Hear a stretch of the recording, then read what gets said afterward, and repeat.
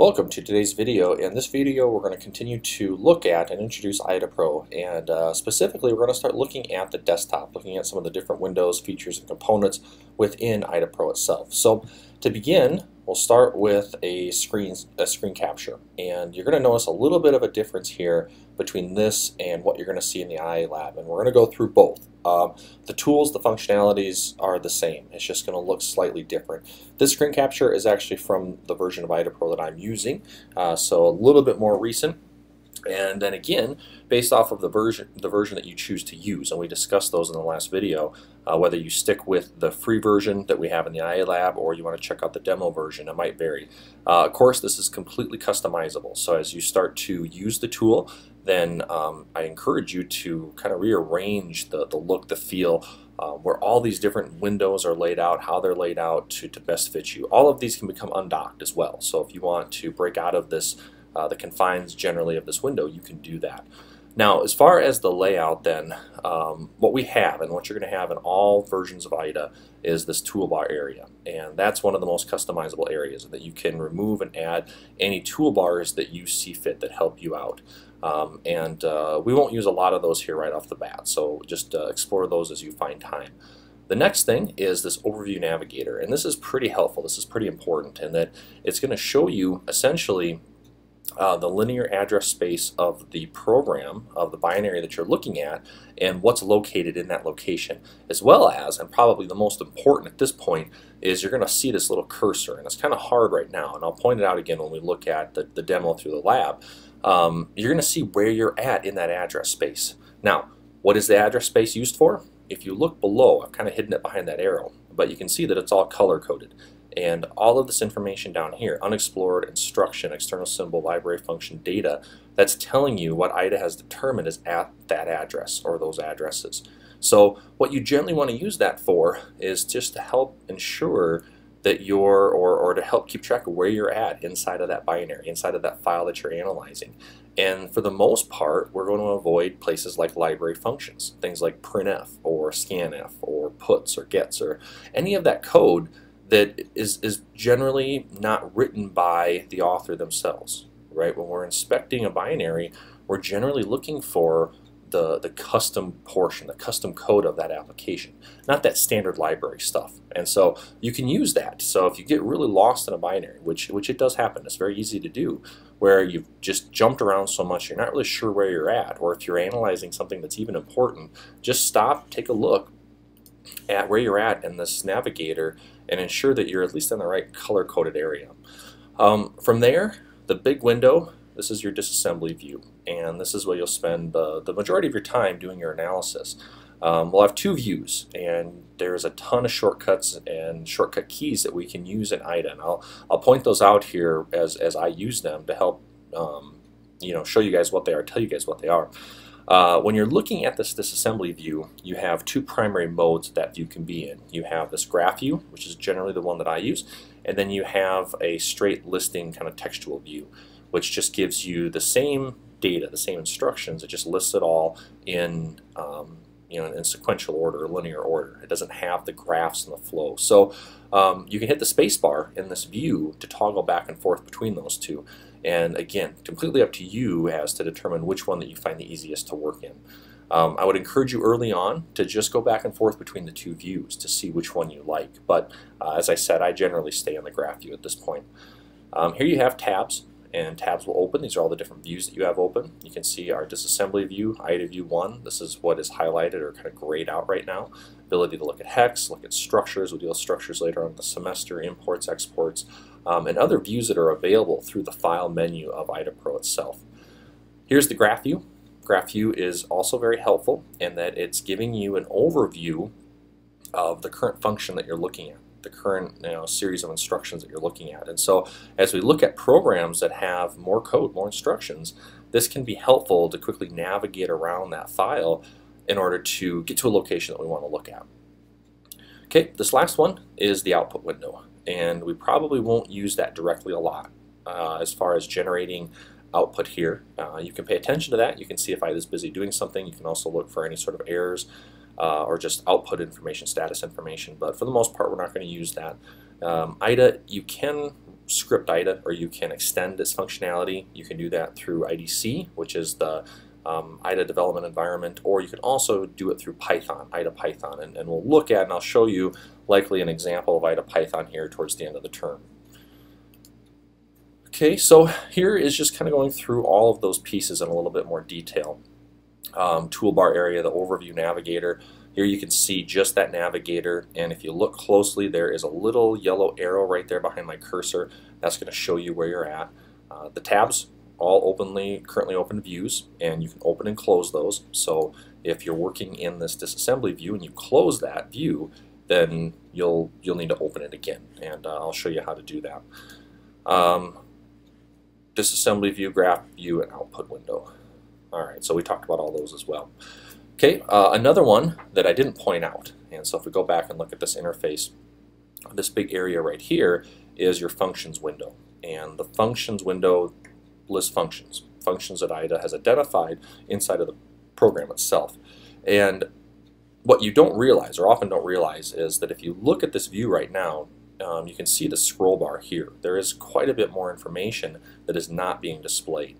And this screen capture shows that um, that window uh, all the way expanded. And so uh, again, what this window is listing is every function as IDA has recognized it. And this it can be very helpful in determining where you want to go inside the binary. What locations do you want to go to uh, to maybe inspect and do some analysis. So main, start, just for getting to the right location, right? That's going to be one of the first challenges and issues that we're going to have to deal with is IDA's going to load up the binary and we might not be exactly in main. We might not be exactly in that spot where we want to start you know, doing our analysis. And um, again, we'll work through some examples here over the next few weeks to get a better, for a more comfortable feel about that. Uh, a lot of the custom functions or functions that IDA just cannot identify they'll be listed as sub underscore and then the address that that's located at.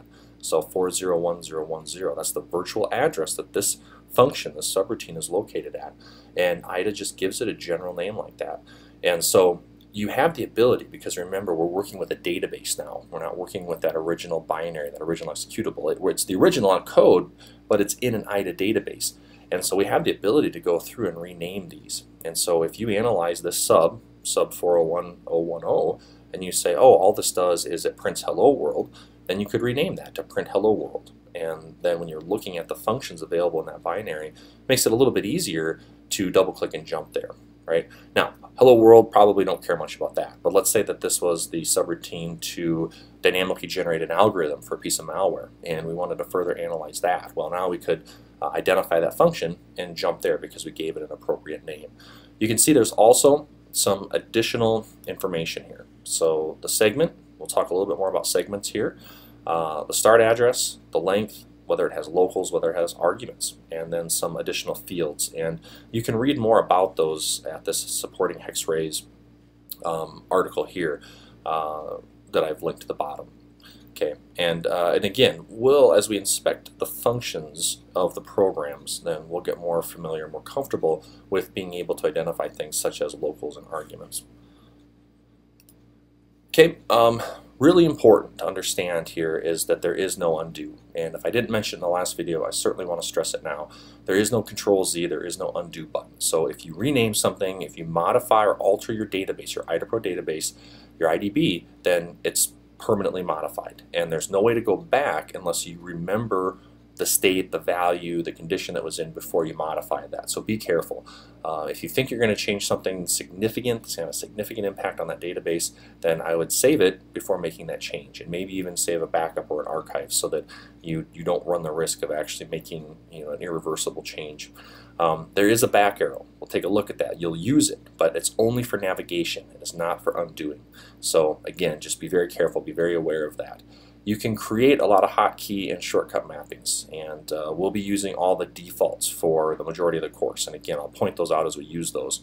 Um, and then as you're using IDA it has a pretty good contextual menu pretty much anytime you right click on something. So if you're if you want to see the kind of options that you have available to edit an instruction to edit data to do something within IDA generally if you right click on it then it'll give you a contextual menu. Menu options that are that are available contextually based off of what you were doing.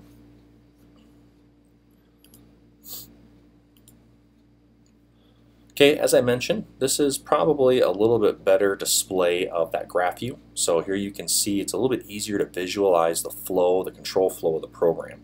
Um, and that's really what we're what what I like this graph view for, and that we can see just by these arrows, we can see that this is a loop, right? This is implying that there is a loop, that this functionality is being executed and looping back around. This is to continue the loop. This branch goes when the loop terminates.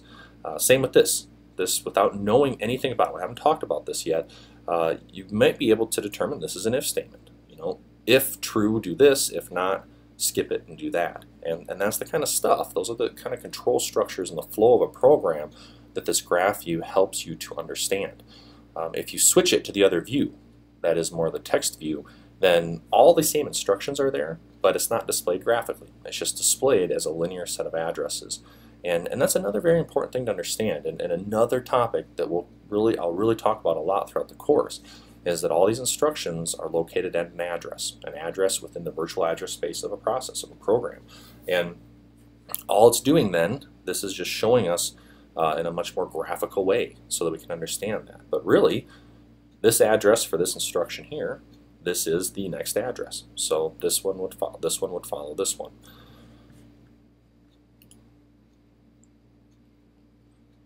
Okay, um, functions broken up into blocks. And as you saw already in the previous slide, that is just to help allow for that visualization of control flow from one block to another. Um, the flow uses different color arrows to distinguish from the flow type. So if you go back and go back and look at this, you can see we have a blue, we have green, uh, we have red. And those what those colors are telling you uh, they're just there to help you to visually determine or understand the flow of the program a little bit better, a little bit quicker. So um, blocks that terminate with a conditional jump. Conditional jump means that there was there was a test, there was something was evaluated or compared before the jump. Jump greater than, jump less than, jump zero. Um, yes, edge is green, no edge is red. So do we take the jump? Green. If we don't take the jump, red. And that's what we're helping to visualize with those colors. Um, terminate with only one flow. The normal edge would be blue. So if we look at this particular block right here, we can see that no matter what happens inside of this, these instructions, it's going to flow to this next block. So this blue block is telling us that it's going to go from here to here every time, no condition, no tests. Here we can see we have test EAX EAX. JZ, jump F0. So we're either going to do one or the other. Yes is green, no is red. Okay, this is another area, and we're going to practice this throughout the semester, and that you really have to understand what the test and what the conditional jump is doing, because it's not always going to map directly like uh, an if statement that you would write in C or C++ or some other higher level language. Um, it might be different, it might be counterintuitive. This might be here you see, what did we say red was? No, don't, you know, no is the value, but no enters this code, right? It, it enters this block. So if you're thinking about that in the if statement, normally you'd think, well, if it's true, enter this block. And, and so it's a little bit, the logic's a little bit in reverse here. Um, and so got to be very aware. And that's one of the challenges with reverse engineering is, is paying attention to the instructions that are that are being executed in the program so that you understand the flow. And again, we'll have plenty of opportunity to practice this throughout the semester. Okay, there's some additional display settings. We'll take a look at those. Um, I generally don't change much in here. There's two things, and I'll point those out right now. I generally turn on line prefixes, and this is where to do that. And you can also enable opcodes. So if you want to see the opcodes, you can say how many bytes of opcode do you want to see, type that in this block right here where you can see the cursor and then click OK and I'll show you how to do both of those. Alright, last thing we'll discuss here before we get into the demo is just simply IDA navigation and for the most part IDA is pretty easy to navigate around in. You can double click on anything that represents an address and then it'll take you to that location. If it's data, if it's an instruction, if it's calling a function. Um, so it's pretty easy to get there when a program is disassembled. Every location is given a virtual address as well. And so you have a file menu option as well as shortcut keys to jump directly to any address. So if there's a particular address that you want, you can go there directly. So uh, the jump to address is the G hotkey. And what that does is that opens this little dialog here that you can see below, and now you can type in an address. Type that address in, click OK, and you'll go directly there. But what you'll probably find to be the, e the easiest to work with and use here, especially as we were initially getting started, is just the double-click navigation. Double-clicking on something and taking you right there. This also, because of that functionality, that behavior, it allows for you to double-click very easily and, and get lost in the binary. So remember, you can use that back arrow and you can back out to where you came from previously, or just stop and figure out where you are and try to get back to a location in which you need to be. But as you're navigating, just pay attention to where you're at. And if you somehow find yourself in a library function, if you're now deep into the, the inners of printf, you probably don't need to be there. And, and you're ultimately wasting time. Not to say that you wouldn't learn something from it, but for the purposes of the labs and the exercises, you, you probably don't need to be there. So just kind of be aware. And of course, if you ever get somewhere you get lost and you're really not sure, you can always send me an email and we can set up a time to Skype and be more than happy to help out. Okay, so that's it for the slides. Take a look at the lab here and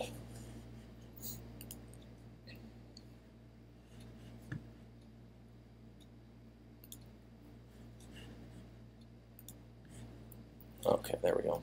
I'm going to close this because we're just going to go, I'm going to turn around and open it up again.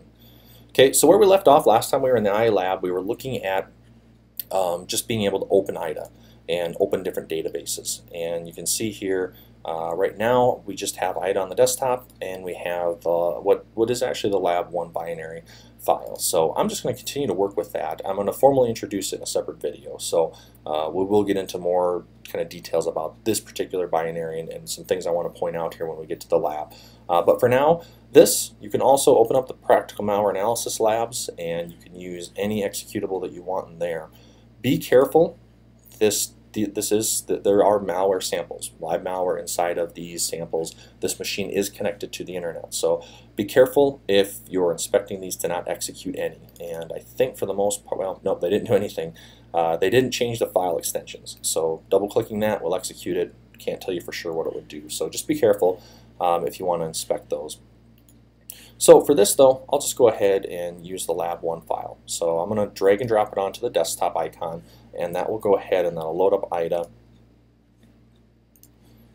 for me. Now, keep in mind, as you're loading a file, it's going to take a little bit of time because IDA now needs to go through that process that we discussed in the last video in order to identify the instructions, the data, uh, to, to parse those opcodes, and then to disassemble it to provide us that assembly listing that we want to look at. So you're just generally looking, um, I generally just watch this, uh, the navigation bar, the overview bar, and once I see kind of no more activity up there, this little arrow you can see is bouncing around, then uh, once I see no more activity there, I know I'm good. I also stay in graph view, and once IDA pops me into graph view, then I know it's ready to go. You can also watch the output window as well as uh, this, this uh, down here in the bottom left, you can see now that's idle. So that's also telling me that I'm good to go. Okay, so you can see now we're in graph view, and if you want to hit the spacebar, that will take you and toggle you back and forth between graph view and the text view. So um, hit spacebar, and now what you're seeing is a sequential listing, a linear listing of those addresses. Um, what are the addresses? Well, these are the values right here where my cursor is currently at. These are the addresses themselves. Uh, 004015FE, 00401608. You can see 08 occupies uh, or is repeated, and that's because there are some comments, uh, some things that Okay, not sure where that came from. Uh, some things that are, are repeated or comments that are repeated in IDA uh, that re still represent just the one address. So uh, in this case, 1608 is really just this instruction, this move instruction. Now, if we go back to where we originally started, uh, here we have public start, and this is a call to this sub. If I switch over the view, you can see that that's not the instruction, that's right here. And what you got to pay attention for, just like inside of the graph view, you have the representation of the control flow. You have blocks and you have arrows, and you still have that within this view. They're just listed here off to the left. The other thing that you have to look at is that this is compressed. You can see it says it right here, press keypad plus to expand, as well as this little asterisk diamond looking thing. So if you want, you can right click on it and unhide, and now you'll see that this instruction, 4015FE, call sub 40576. Okay, so that's where that was. So IDA just had it hidden for us because likely it just it, it identified that as uh, code that is just part of a normal you know, compile, you know, compilation of a program and, and something not important for us to understand. Um, as we navigate here, you can see, uh, let's see, before we do that, let's take a look at options. So if you open up Options General, that will give us some of the options, those options that we talked about earlier. Uh, as I said, I generally don't change anything in here. I turn on line prefixes, and that will turn on the prefixes here. So I think that's helpful because it just it helps to identify or associate the fact that this instruction is at this address. And this is the next address based off of the size of this instruction, the bytes that this instruction occupies, and so forth and so on. Okay, the other thing you can turn on, and I usually don't turn this on, are the opcodes. So let's say that I want to see 10 bytes worth of opcodes. Now you can see the opcodes, the hex that that instruction is. So push 14 hex is opcode 6A14. Okay, but I generally don't need those on. We certainly don't need those on right now. So that's up to you if you if you find those beneficial at this point. Okay, so I'm going to disable those. Um, graph view, as I said, you can see that we're in a function right now, and this is function start, and that uh, there's it's a bigger function, and so this graph view helps us to kind of easily and quickly navigate around that function. Now, this is not the entry point in the pro, this is the entry point into the program, and IDA's identified that for us, but this isn't where we actually want to start analyzing. And so for this particular binary, for, for the lab 1 binary, where you want to go down to is this block right here. There's a call to this sub 401100 and that's where we want to start our analysis. So if you, because this represents an address, a call is going a call that location. A function is just simply a location and call is going to move that location into EIP. So because that's a location, that's an address, we can double click and now you can see we've jumped to that location. Okay, back arrow, that takes us back to where we were. Not precisely to where we were, kind of annoying, but uh, we can quickly go back to that. So 401100, and you can see this is the address that we now jump to, 401100. Okay, all this stuff up above here, this is information about arguments and local variables and the stack stuff. So we'll talk more about that. Uh, you can see that the first instruction here is push EBP, move into EBP ESP, sub ESP 48 hex. Right, and, and hopefully you identified or recognize that as the prologue for the function. So we're setting up the base pointer um, and then allocating space on the stack for those locals. And because and, and how this these instructions use that local stack space, IDA has gone through and identified those local variables for us. And that's what these var50, var4c, var48, var44, etc., that's what they're referring to. Uh, again, we'll get we'll get into more of the details here as we do some stack refresher and how IDA is going to represent the stack information for us. Okay, graph view helps us to move around. This is the only section for lab one. This is the only section of the program that you're going to have to go through to analyze. Okay, so again, I just kind of wanted to point that out while we're here, just to help reiterate. Um, looking at some of these instructions, you can see that, uh, for example, we have a move into EAX, this D word 411050. Uh, this represents data. So when you see this, uh, an instruction like this, what this is saying is move into the register EAX the data that's located at this address, 411050. It's a D word's worth of data, so it's 4 bytes of data. Because that represents an address, you can double click on that, and you can see that at that address, this is the data there. We have this hex value, BB40E64E. So what is that being used for? Who knows? Um, but we do know that it's being moved into EAX, and then EAX is being XORed with EBP. So uh, that's actually the stack cookie, and we'll, we'll, talk about that in a little bit as well. Um, you'll notice backwards and forwards. So I jump to a location, go backwards. I could also go forwards. So using these arrows for navigation, not for undoing and redoing commands that we execute in the program in IDA.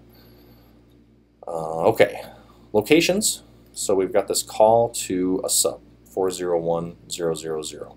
Okay, and some things you can do with that would be to rename. And renaming is going to be very helpful because the renaming is going to allow you or help you to add better context to this program. IDA couldn't identify this as a standard library function, so it's probably something that was written custom by the author of this program. So we can double click on it and we can inspect that function. Once we've done that, we can rename it.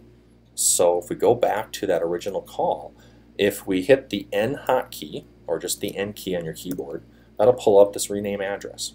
And so what we can do is, let's say I want to rename it do something. Click OK, and now that's renamed that function, it's renamed that address. So call do something still doesn't mean a lot, but it means probably a little bit more than call sub and some address. Okay, you'll also notice in the functions window, it updated that sub. Okay, so once you've figured out what a function does, it's very helpful to rename it something that gives you insight or helps to, to get better context as to that purpose of that function. Okay, um, you can rename quite a bit. The local variables here, the stack variables you can rename. You can also, uh, let's see, this D word, you could rename that. Uh, you can rename, of course, functions. Uh, so there's a handful of things that you can rename. And uh, if you're not sure, you can always just hit the N key and try to rename it. Okay. Um, comments. Comments are going to be another big one, especially as we're getting started. And so just like in assembly, a comment in assembly is a semicolon, same thing here in IDA. So if you want to leave a comment, pick any address, any instruction that you want, and hit the semicolon key. And what will pop up then is a dialog or a window that will allow you to leave a comment. So I can say this is a comment. And it doesn't look like anything showed up. So what we can do is we can see, let's close this view and see if that helps us.